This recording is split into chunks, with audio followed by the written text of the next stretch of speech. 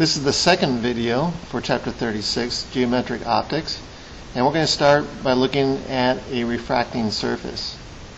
In this case, our second index of refraction of the material is going to be greater than our index of the first, and most likely our first index might be air. So we're going to go from an object, encounter this surface, and we're going to say that this surface has a radius of curvature equal to r. With a little bit of geometry, we can prove that the magnification of our image in relation to our object, the image height, h prime, over the object height, h, will be equal to negative index 1 over index 2 times the image distance over the object distance. And the q in this case will be positive, and the object distance p will also be positive because uh, the object is on the side of the incoming rays, is originating the rays, and q is on the side of the outgoing rays. So, also we can also prove for this interface with a little bit of algebra and geometry that index 1, where we're originating, over the object distance p, plus index 2, n2, over the image distance q is equal to n2 minus n1 over the radius of curvature for this interface. So these are two neat little equations for this refracting surface. Real image will, images will actually be formed on the side opposite from the object, and so the actual rays are forming the image, hence um, it is a real image. Let's take these newfound formulas to the absolute extreme. Let's take a look at a flat refracting surface, and then we're going to apply these formulas, and they should work. In this case, our first index is actually greater than our second index, and our radius of curvature of the interface is actually going to be infinity, because if you have a radius of curvature and you start increasing that radius of curvature, your curvature is going to start going flatter and flatter as r gets larger and larger. Looking at this, as the rays are coming in, if we were to draw a normal to this interface surface, we would find that our angle of incidence is going to be smaller than our angle of refraction. We're going to refract away from the normal. So the rays are going to diverge as they're going through this interface, and they're going to appear to come from some point that's inside the first material. So that would be the location of, of our image, is actually inside the first material. The image will be virtual because our image distance will be negative. The image is not on the side of the outgoing rays. The outgoing rays are on the other, are the N2 side of the interface, and the image is on the first side. So it's not on the side of the outgoing rays. Hence, the image distance is negative, and that makes the image a virtual image.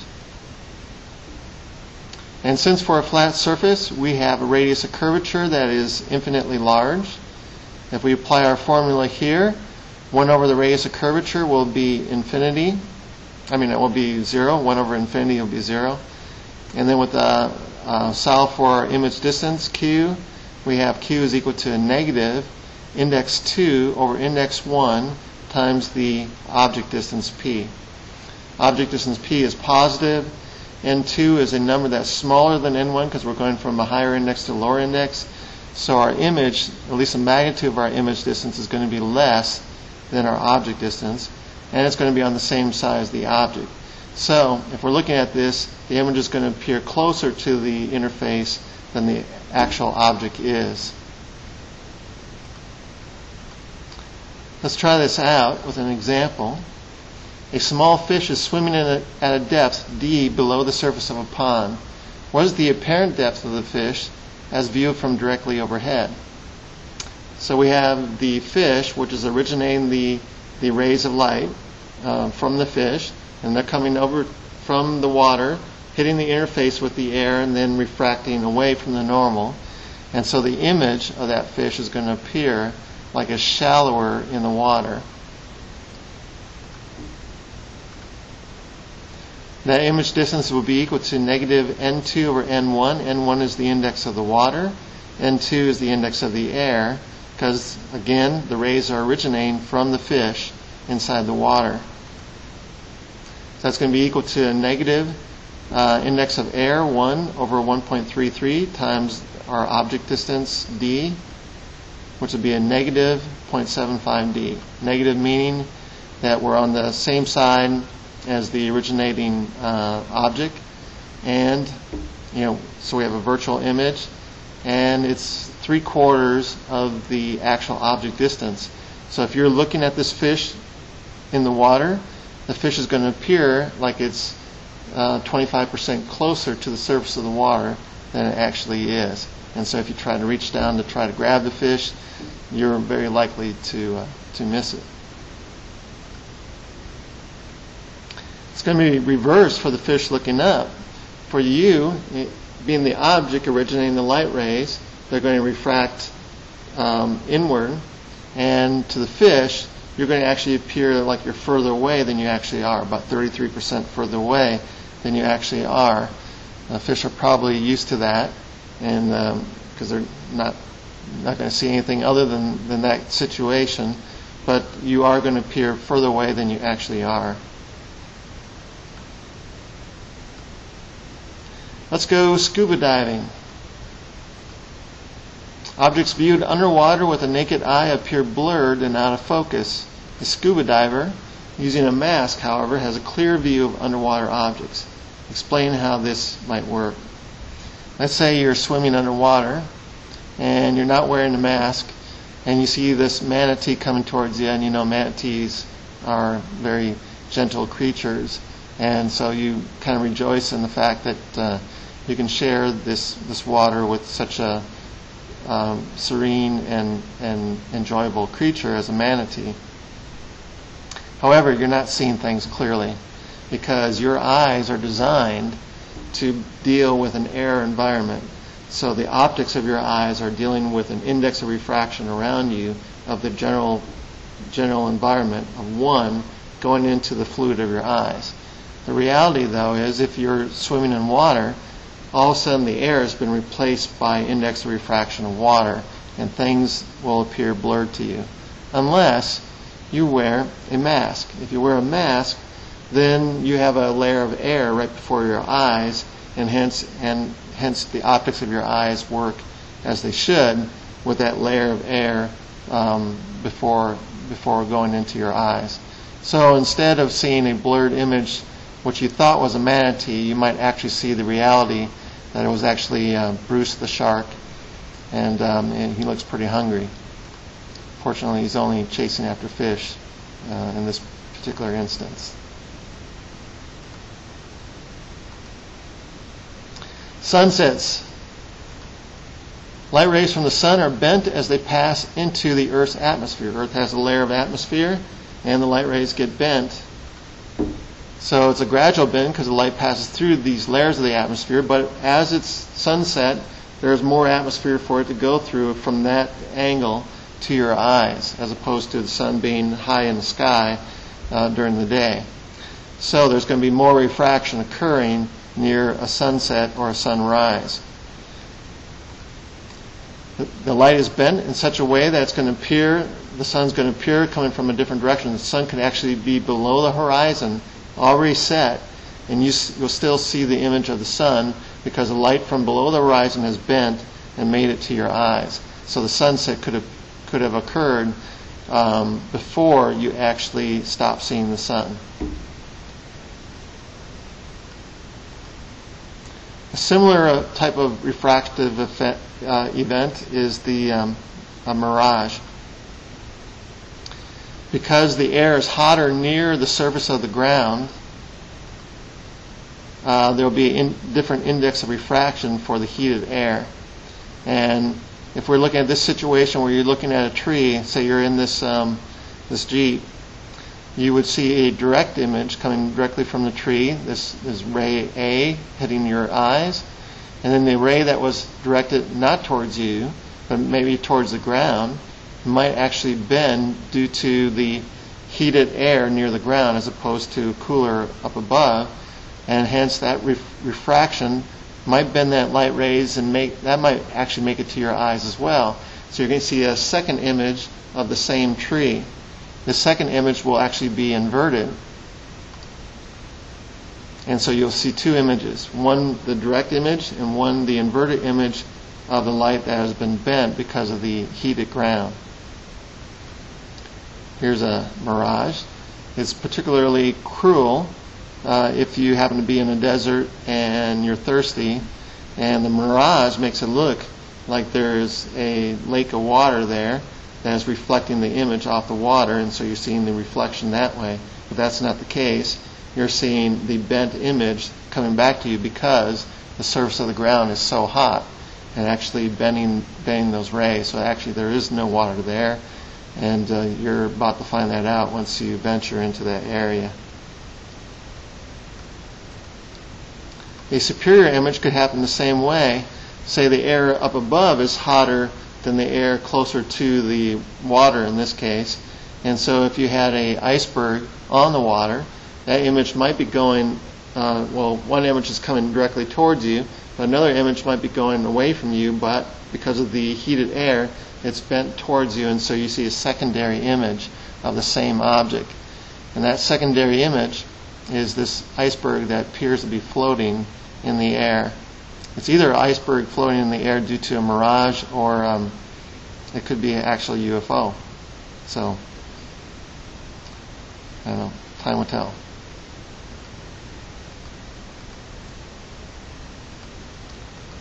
Thin lenses. A lens consists of a piece of glass or plastic. Each of its two refracting surfaces is either a sphere or a plane, or both, or, one or the other. Lenses are commonly referred to form in, uh, used to form images by refraction in optical instruments. A thin lens is one in which the distance between the surface of the lens and the center of the lens is negligible. Let's take a look at a converging thin lens. We have a biconvex, which is two convex surfaces. We have a convex and a concave. You have to look at each of them from the outside in. So a convex and then a concave lens. And then this one would be a convex plane, or you could say it's plano-convex. Converging lenses will have positive focal lengths and they are all thickest in the middle. So one way you could identify a converging lens with a positive focal length is that it's always thicker in the middle than it is on the edge. And all three of these are converging lenses because they're thicker in the middle than they are on the ends. As opposed to a diverging lens, which has a negative focal length, so the image will not be located on the side of the outgoing rays.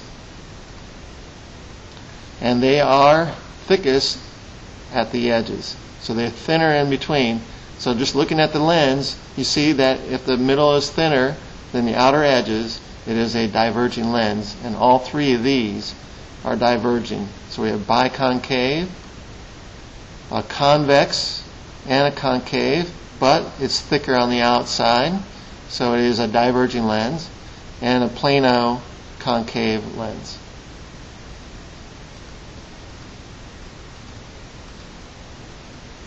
Sign conventions for lenses. The object distance P is always positive if it is on the same side as the incoming light, negative if, if it's not. The image distance Q is always positive if it's on the same side as the outgoing light, negative if it's not. And I've seen these in the book, I've seen it in many books, where they try to confuse us and give you big tables, one for lenses, one for mirrors, and you know, if this is this and this is that. But if you keep this straight, it's very simple. It's the same thing for mirrors as it is for lenses. If you're on the same side as the incoming light, then your object distance is positive, negative if it's not. And if you're on the same side as the outgoing light, either mirrors, lenses, or refractive um, surfaces, if you're on the same side as the outgoing light, your image distance is positive, negative if you're not. It's simple as that. These are the same for mirrors.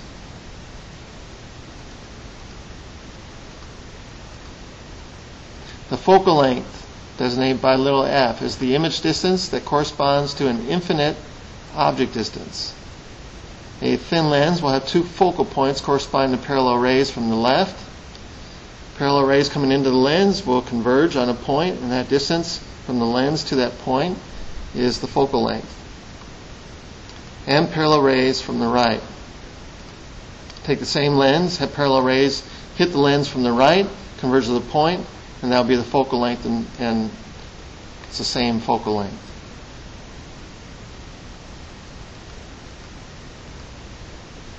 But if you have parallel rays encountering a diverging lens, the rays going out will diverge and it will appear to come from a point, and that distance from that point to the lens or to the center of this thin lens would be the focal, po- focal length.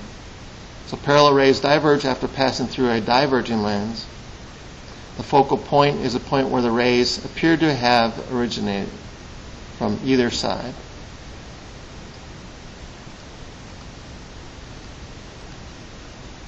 Focal length of a lens is given by the lens maker equation, and it looks like this. 1 over the focal length is equal to the index of refraction of the material of the lens, n, minus 1, times 1 over the first radius encountered by the light, minus 1 over the second radius encountered by the light for the lens. So radius 1 and radius 2 are positive if the center of curvature is on the outgoing side of the lens. So you're going to have to imagine light coming from one way or the other. But once you determine which side the light is, is coming from, encountering the lens, then you define your radius of curvature based on that. And if the radius, the center of curvature is on the outgoing side of the light, then it is a positive center of curvature and a positive radius. Negative if the center of curvature is on the incoming side of the light. So if the light were coming into a concave side, then you would treat that radius as being negative. Like an image in relation to real rays exiting. If the lens is immersed in a fluid other than, say, air, this n value is interpreted not as the uh, the index of refraction of the material of the lens, but the ratio of the index of the material to the index of refraction for the fluid. Now, the fluid were air, which is 1, is the index of the material over 1. If the fluid were water, 1.33, it would be the index of refraction of the material, say glass 1.5 over 1.33, and that would reduce the value of this n by the value of the fluid that you've immersed the lens into.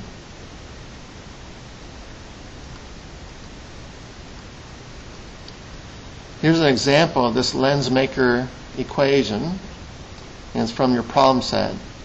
A plane convex lens is made of glass, index refraction 1.5, with one flat surface and the other having a radius of 20 centimeters. What is the focal length in centimeters of this lens? All right, so we got this lens. It's a plano convex, and it is a converging lens because it's thicker in the middle than it is on the outside. So we should expect a positive focal length. Now we have to assume the light coming from from one way or the other. So in this case, we're going to come, come from the left and exit on the right. So we're going to assume our, our ray direction. And as this light is encountering the first surface, we find that first surface is the plane, and that should be a radius of curvature of infinity for a plane. So our first radius is going to be r1 equal to infinity. And then the, it's going to encounter the second surface, and it's curved in a concave way in relation to the direction that the ray is coming in, and hence it's, it's the center of curvature is not on the side of the outgoing ray, so our radius for the second surface is actually a negative 20 centimeters. We're going to use this in our thin, in our um, lens equation, lens maker equation. 1 over the focal length is equal to the index of refraction of the glass, 1.5 minus 1. 1 over the first radius, infinity, minus 1 over the second radius, a negative 20.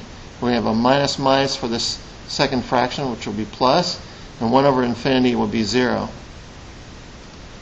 So we're going to have 0.5 times a positive 1 over 20, which is going to give us 1 over 40. And then if we flip both sides, then our focal length would be 40 centimeters. Positive. So the focal length of this thin lens, this by the lens maker equation, is 40 centimeters.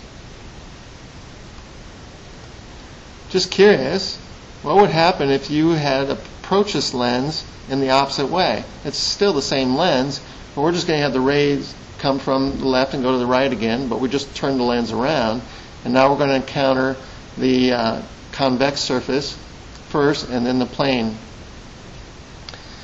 Our first radius then is going to have a center of curvature on the outgoing side of the rays of light.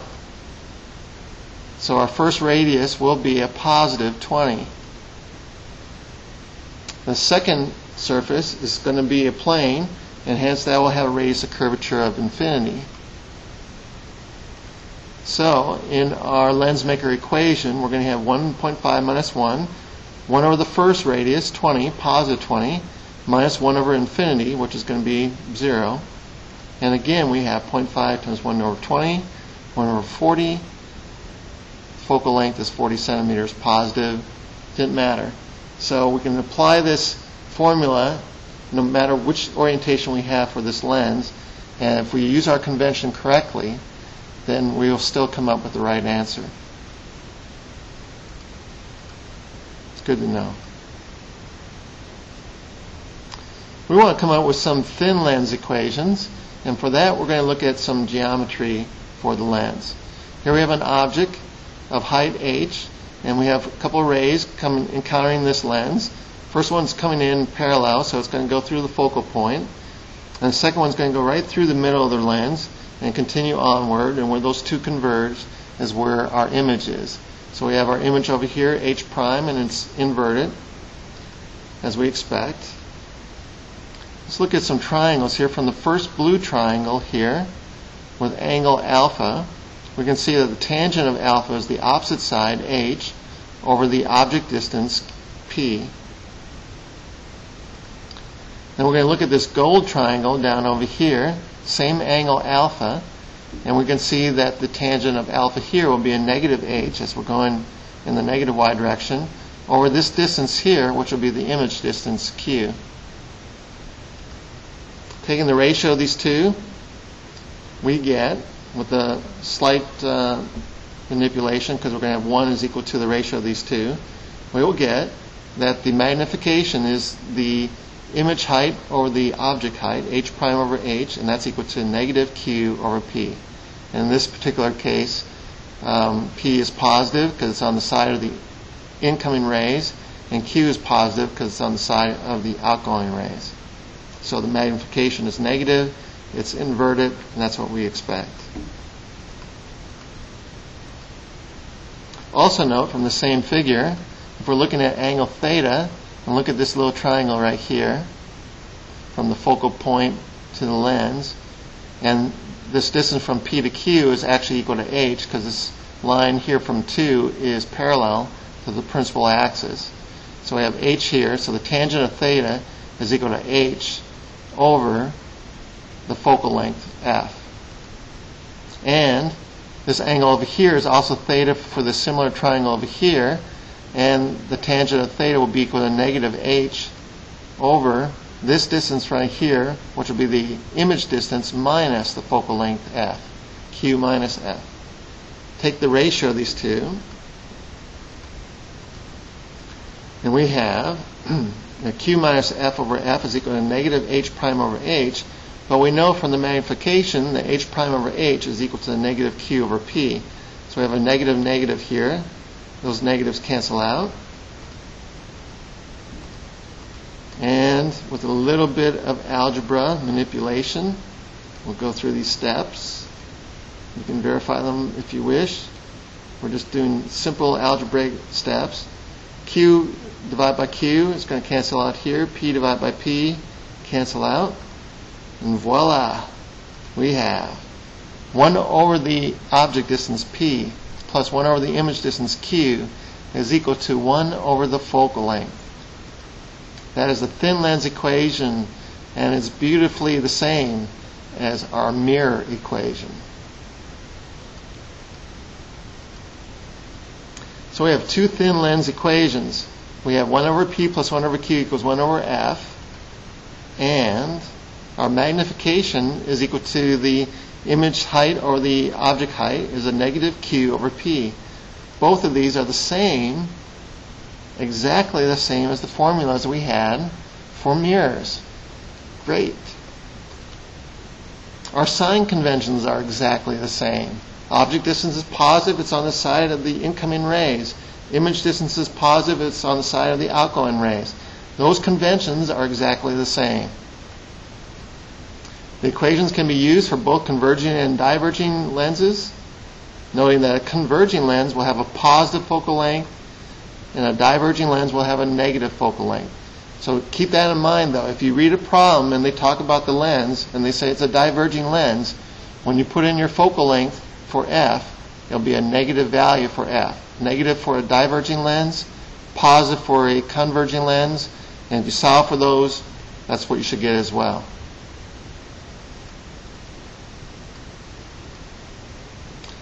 We're also going to look at ray diagrams for thin lenses.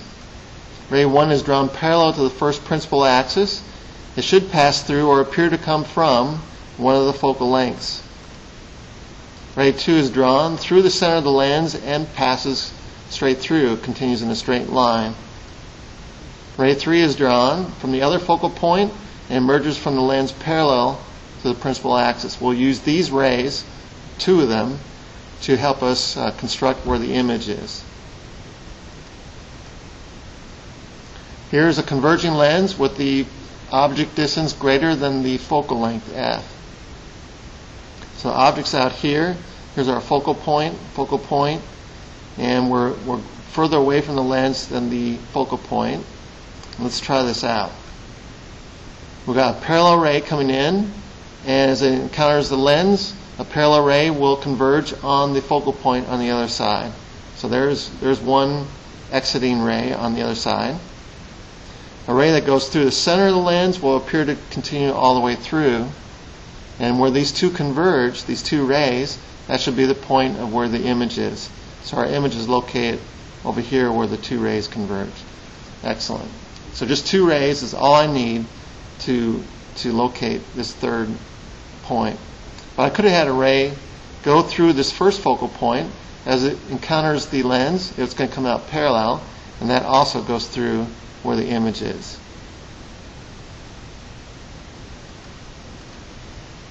This image will be real because it's actually comprised of the actual rays that are outgoing from the lens. And it's inverted. Our image distance is a positive quantity. Q is positive. P is a positive quantity. So our magnification will be a negative Q over P. Magnification is negative. Hence, it, the image is inverted. Here's a ray diagram for the object inside the focal point. So now we put the object, and the object distance is less than the focal length. We're going to try the same thing with our rays. We're going to have one ray come in parallel, and it's going to appear, or it's going to go and converge through the focal point on the other side. So that appears, if we draw back, is coming from that direction, out back this way.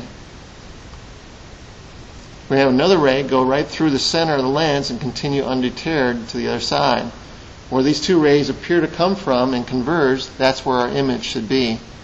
So we're going to draw them, trace them back, and there's the tip of our image.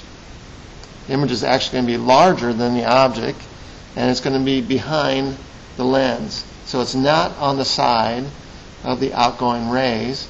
The image distance, hence, will be negative, and the magnification will be a positive quantity because a negative negative over a positive quantity so the magnification is going to be uh, is going to be upright, and it's going to be greater than the object.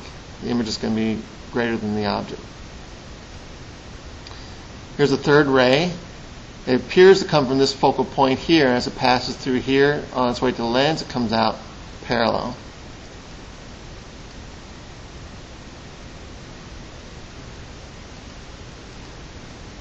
Image is virtual and upright.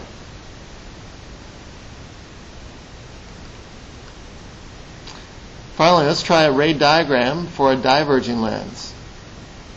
Here's a diverging lens. We have a parallel ray coming in. It's going to diverge when it reaches the lens and appear, if it were parallel coming in, it's going to appear to have come from this focal point over here. So as we as we uh, follow it backwards, it appears to come from that point. Let's try another ray. Right through the center of the lens, undeterred to the other side, and that appears to come directly from that point. So where those two converge, that's where our actual image is.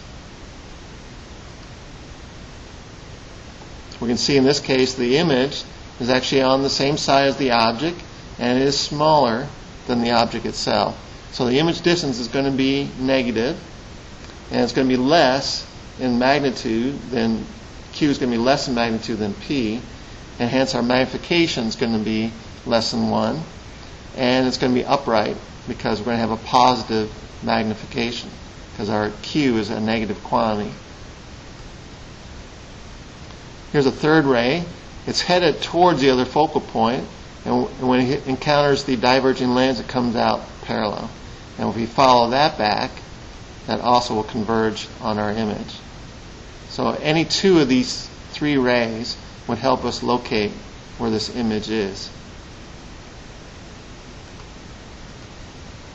Image is virtual, image is upright. In this case, the image is smaller than the object.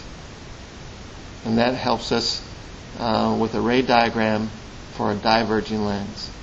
That concludes the second lecture in uh, Geometric Optics, Chapter 36.